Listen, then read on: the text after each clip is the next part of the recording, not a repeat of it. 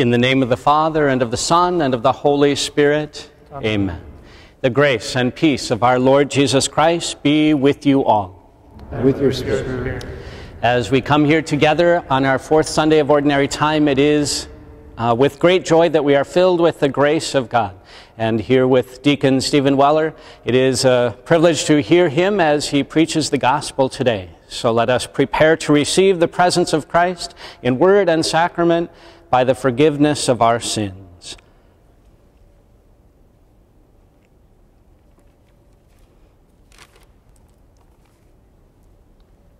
Lord Jesus, you came to reconcile us to one another and to the Father.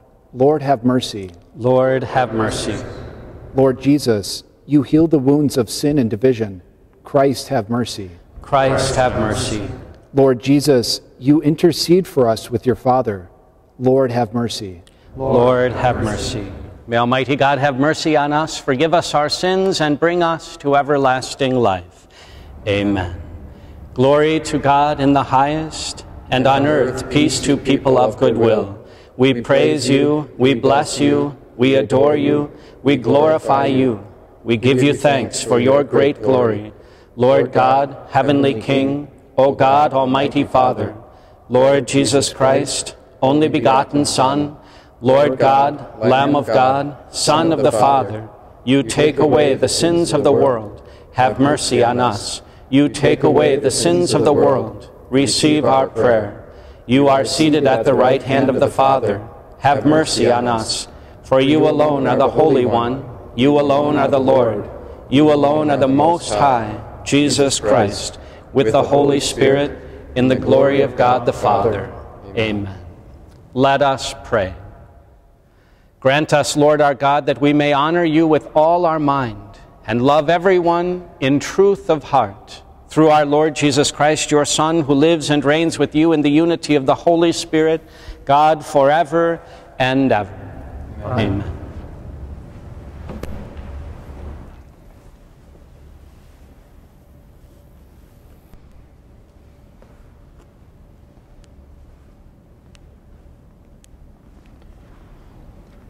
A reading from the book of the prophet Jeremiah. The word of the Lord came to me, saying, Before I formed you in the womb, I knew you. Before you were born, I dedicated you. A prophet to the nations, I appointed you. But do you gird your loins, stand up, and tell them all that I command you. Be not crushed on their account, as though I would leave you crushed before them. For it is I this day who have made you a fortified city, a pillar of iron, of wall of brass, against the whole land, against Judah's kings and princes, against his priests and people. They will fight against you, but not prevail over you. For I am with you to deliver you, says the Lord. The word of the Lord. Thanks be to God. I will sing of your salvation. I will sing of your salvation. In you, O Lord, I take refuge.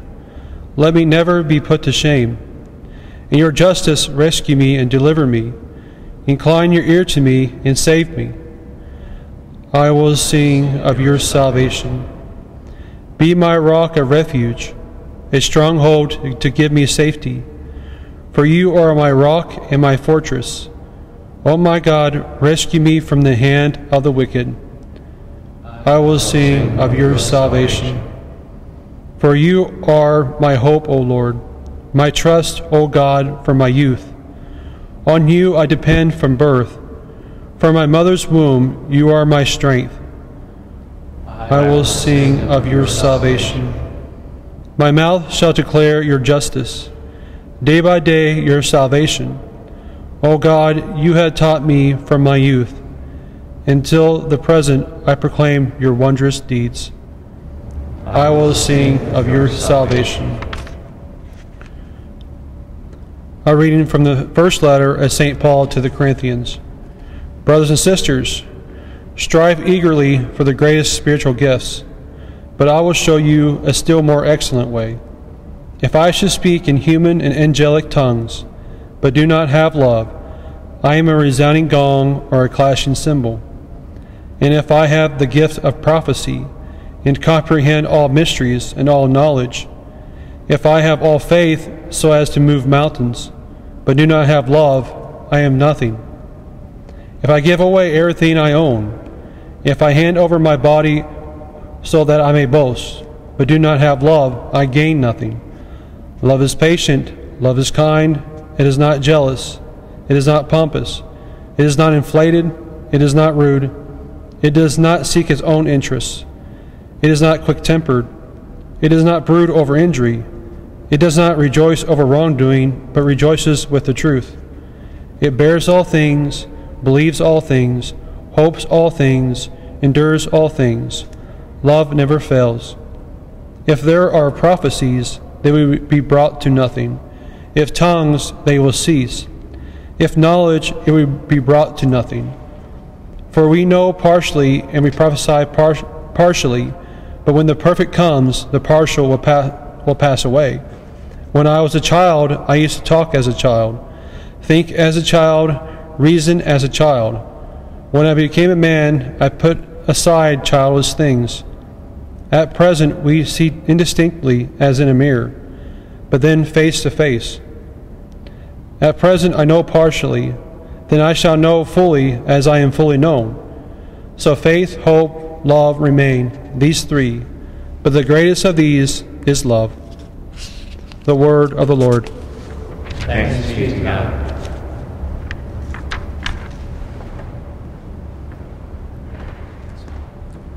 Alleluia, Alleluia, Alleluia,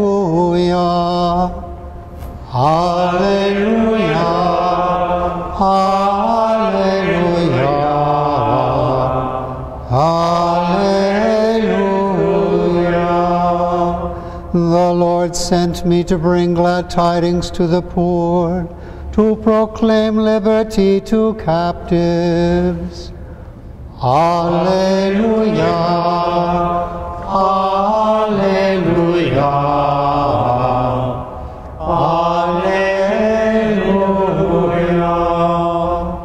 The Lord be with you. And with And your with your spirit. spirit. A reading from the Holy Gospel according to Luke. Glory to you, Lord. Jesus began speaking in the synagogue, saying, Today this scripture passage is fulfilled in your hearing. And all spoke highly of him, and were amazed at the gracious words that came from his mouth. They also asked, Isn't this the son of Joseph? He said to them, Surely you will quote me this proverb Physician, cure yourself, and say, Do here in your native place the things that, we've, that we heard were done in Capernaum. And he said, Amen, I say to you, no prophet is accepted in his own native place. Indeed, I tell you, there were many widows in Israel during the days of Elijah, when the sky was closed for three and a half years, and a severe famine spread over the entire land. It was to none of these that Elijah was sent, but only to a widow in Zarephath of the land of Sidon. Again, there were many lepers in Israel during the time of Elisha the prophet, yet not one of them was cleansed, but only Naaman the Syrian. When the people in the synagogue heard this, they were all filled with fury. They rose up, drove him out of the town, and led him to the brow of the hill on which their town had been built, to hurl him down headlong. But Jesus passed through the midst of them and went away. The Gospel of the Lord. Praise to you, Lord Jesus Christ. Today, Jesus shows us a certain duality that belongs to the Christian. On the one hand, there's nowhere that we can be where we can be at home. We're Christians, and so our home is elsewhere. We don't belong here. On the other hand, Jesus also shows us that our home can be anywhere. He's the one who's rejected when he goes back home, and yet he's the most homely person that there is. He carries home wherever he is. And that's because home is not so much a place as it is a person. It's an encounter with a person. Mother Teresa used to say that all the way to heaven is heaven. Heaven is something that occurs right now. And so we can be at home even when we're not yet totally there. But how? How is it that we can be at home no matter where we go? How is it that we can be so comfortable in the presence of God that it gives us a strength no matter what circumstances we find ourselves in? And I think St. Paul today gives us the answer. He says it's being known by God. God knows everything infinitely, He's omniscient, and yet there's a particular way in which God must know us. He says He must know us face to face. Literally in the Greek, prosopon pros, prosopon, literally translated a different way as person to person. God is not someone that we just know about, He's a person that we know about. And so Jesus today is inviting us to be known by Him and to know Him as a person. It's being known by God. And we have to tell Him about ourselves like we tell others about ourselves so that we can be known face to face.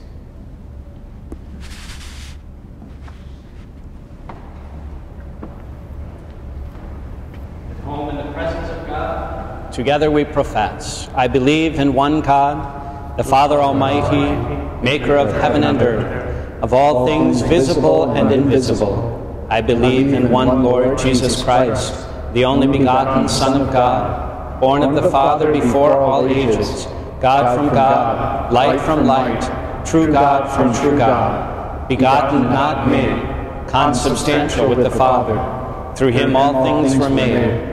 For us men and for our salvation, he came down from heaven, and by the Holy Spirit was incarnate of the Virgin Mary and became man. For our sake he was crucified under Pontius Pilate. He suffered death and was buried, and rose again on the third day in accordance with the Scriptures. He ascended into heaven and is seated at the right hand of the Father. He will come again in glory to judge the living and the dead and his kingdom will have no end. I believe in the Holy Spirit, the Lord, the giver of life, who proceeds from the Father and the Son, who with the Father and the Son is adored and glorified, who has spoken through the prophets. I believe in one holy Catholic and Apostolic Church. I confess one baptism for the forgiveness of sins, and I look forward with the resurrection of the dead and the life of the world to come. Amen. Beloved, let us pray to our Lord Jesus Christ not only for ourselves and our own needs, but for the needs of all. For those who do not yet believe, we pray to the Lord. Lord, hear our prayer. For good weather and the fruits of the earth, we pray to the Lord. Lord, hear our prayer. For all who have gone before us in faith, we pray to the Lord. Lord, hear our prayer. For the needs of our diocese, we pray to the Lord. Lord, hear our prayer. For the intentions submitted by our viewers at home, we pray to the Lord. Lord, hear our prayer. Heavenly Father, we come before you with faith and love to praise your goodness and to acknowledge our need. We ask you to hear the prayers we make in the name of Jesus the Lord. Amen. All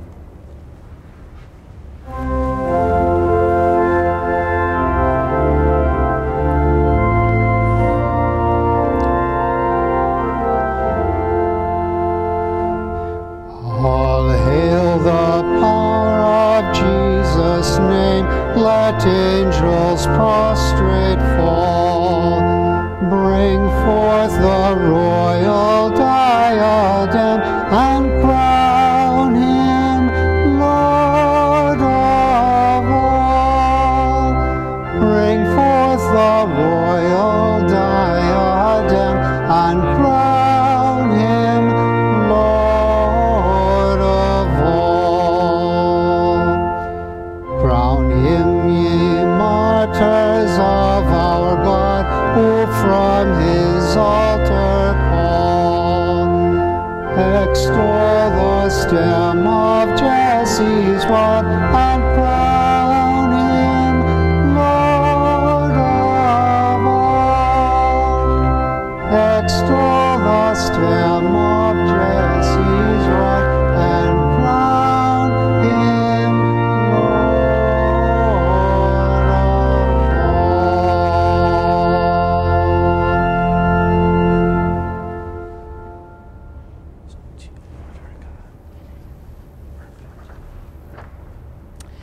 Pray, brothers and sisters, that my sacrifice and yours may be acceptable to God, the Almighty Father.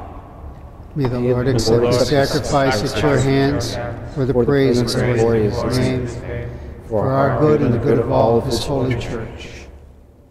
O Lord, we bring to your altar these offerings of our service. Be pleased to receive them, we pray, and transform them into the sacrament of our redemption through Christ our Lord.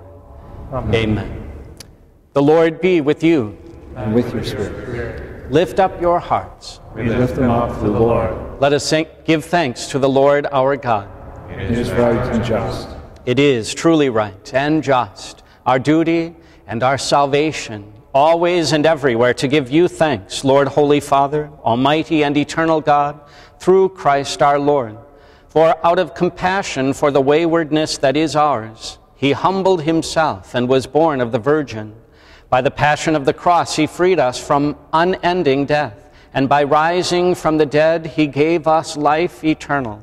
And so, with angels and archangels, with thrones and dominions, and with all the hosts and powers of heaven, we sing the hymn of your glory as without end we acclaim.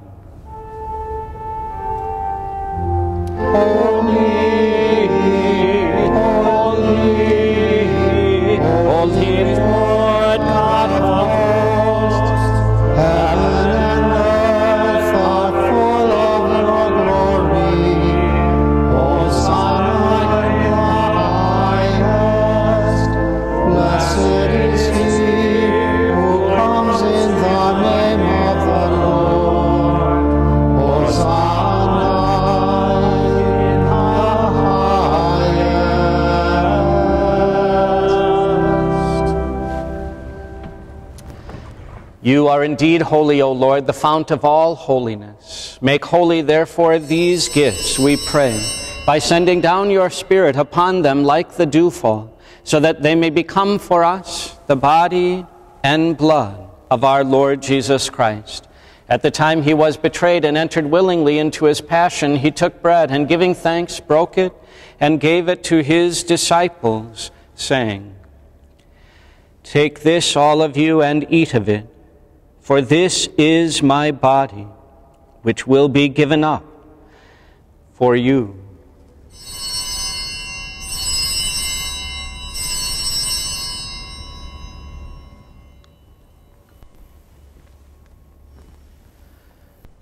In a similar way, when supper was ended, he took the chalice and once more giving thanks, he gave it to his disciples, saying, Take this, all of you, and drink from it.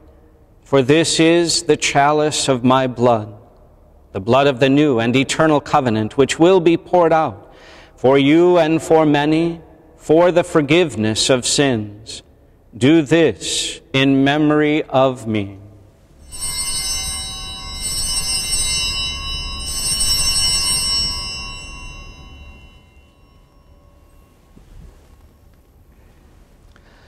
The mystery of faith.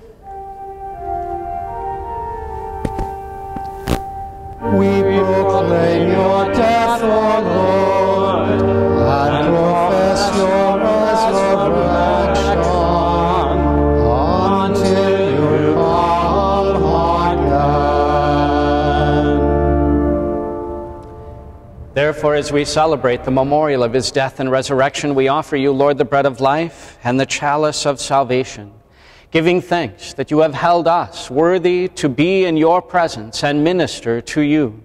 Humbly we pray that partaking of the body and blood of Christ, we may be gathered into one by the Holy Spirit.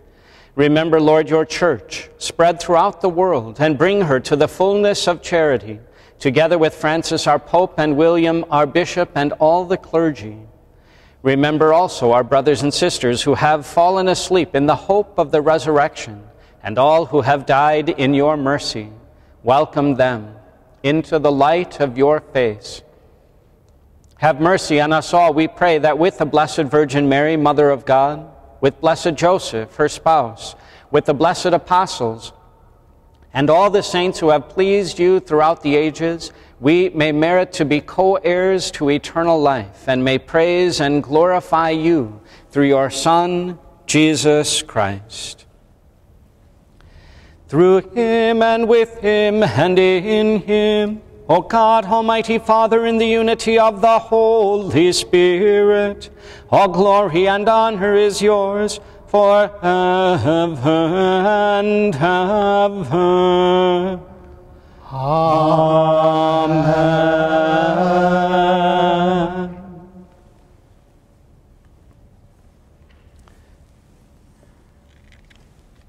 At the Savior's command and formed by divine teaching, we dare to say, Our Father, who art in heaven, hallowed be thy name. Thy kingdom come, thy will be done, on earth as it is in heaven. Give us this day our daily bread, and forgive us our trespasses, as we forgive those who trespass against us. And lead us not into temptation, but deliver us from evil. Deliver us, Lord, we pray, from every evil. Graciously grant peace in our days, that by the help of your mercy we may be always free from sin and safe from all distress, as we await the blessed hope and the coming of our Savior, Jesus Christ. For, For the, the kingdom, kingdom, the power, and the glory are yours, now and forever.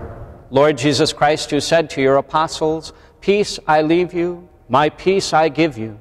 Look not on our sins, but on the faith of your church, and graciously grant her peace and unity in accordance with your will, who live and reign forever and ever. Amen. Amen. The peace of our Lord Jesus Christ be with you always. And with your spirit. Lamb of God.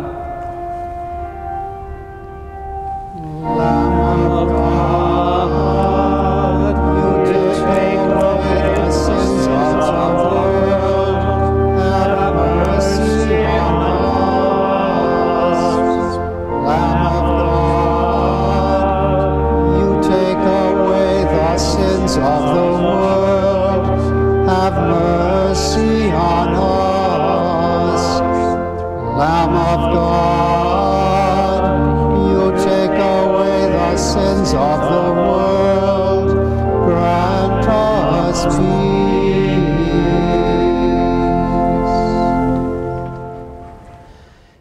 Behold, the Lamb of God.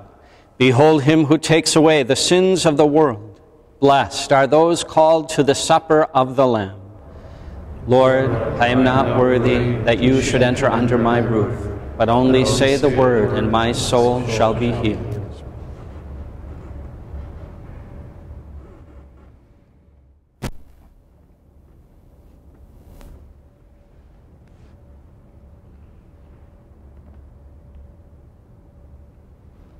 My Jesus, I believe that you are present in the Blessed Sacrament.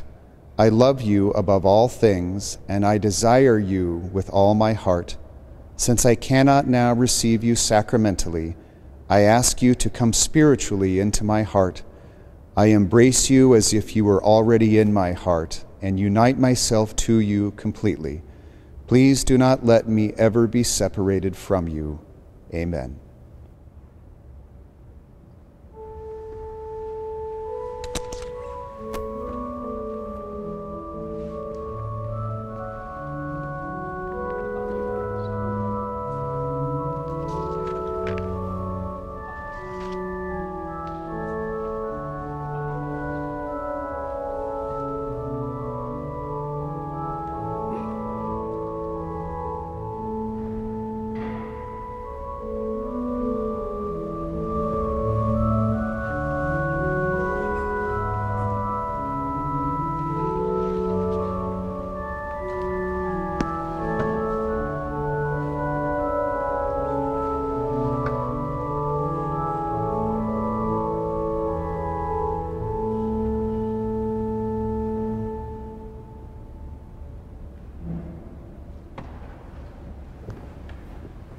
Let us pray. Nourished by these redeeming gifts, we pray, O Lord, that through this help to eternal salvation, true faith may ever increase through Christ our Lord. Amen. Amen. Before the final blessing, I uh, just want to acknowledge the fact that we are here with a few seminarians from the Diocese of La Crosse. So uh, we thank you for your presence and your prayer, and certainly uh, Deacon Weller as well. Uh, they are, as uh, we speak, gathered and uh, preparing for the future. So, as they have responded to God's call, we thank you for your prayers uh, for them so that they might grow in grace and stature, grow in knowledge uh, of God, and as the homily said today, uh, not of knowledge just of uh, something, but someone. And as they grow in love with God, may His goodness then uh, come alive in their hearts and God willing, their future be filled with ministry and uh, with opportunities to help build His kingdom. So we pray for the seminarians of the Diocese of La Crosse, and we thank all those uh, from home who do so as well. As we go forth into the world ourselves, may we be strengthened by His grace and blessing. The Lord be with you. And with your spirit. may the blessing of Almighty God the Father, and the Son, and the Holy Spirit descend upon you and remain with you forever. Amen. Amen. Go forth, the Mass is ended. Thanks, Thanks be to God. God.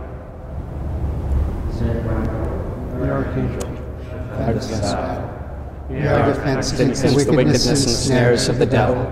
May God rebuke him, we humbly pray. And do thou, O Prince of the heavenly host, by the power of God, thrust into hell Satan and all the evil spirits who prowl about the world seeking the ruin of souls. Amen.